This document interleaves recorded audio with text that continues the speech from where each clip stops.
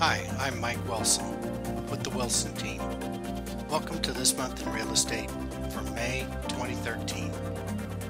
Here are just a few of the national real estate numbers we're tracking for you right now. According to the National Association of Realtors, the number of projected home sales dipped slightly to 4.92 million.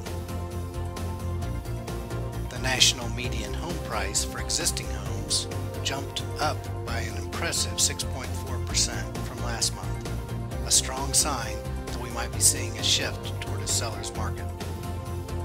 And finally, Freddie Mac reports that the average national interest rate for a 30 year fixed rate mortgage edged back to 3.41%. To find out how these numbers affect home prices in Northern Virginia, contact me today at my website by email at mwilson at kw.com.